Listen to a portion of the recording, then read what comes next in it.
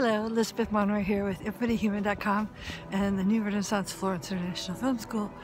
And the question is, how do you get to this state of high vibration, of feeling love, of feeling bliss, of feeling the oneness with all things?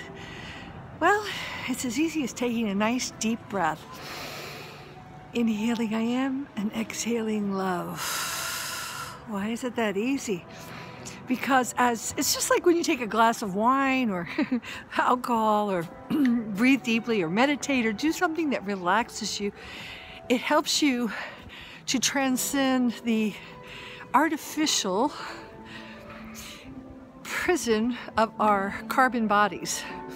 Now, our carbon bodies have been dumbed down, so to speak, or have been uh, scaled down. The, the uh, genetic material, or the, I don't say DNA because that means double strand, but we had many, we, were, we are meant to have many, many more strands. We are meant to be multidimensional. We are not to, meant to be feel, feel like we're prisoners in our bodies. Our bodies are not meant to be carbon-based bodies, but light bodies, vibrating at a much higher frequency, allowing us to feel that oneness with the universe, with all things that is reality, which is the truth. So in order to help yourself facilitate those higher states in your true multidimensional nature, Breathe in deeply. I am and exhale peace. Inhale, I am. Exhale, love. Do things that help you to relax.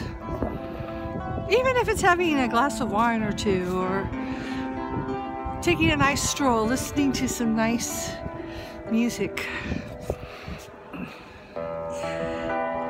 Enjoying a good laugh always try to do things that raise your vibration, that relax you, that puts you in the position of feeling love for all things, for all of humanity, for feeling at one with all things, because that is your true nature.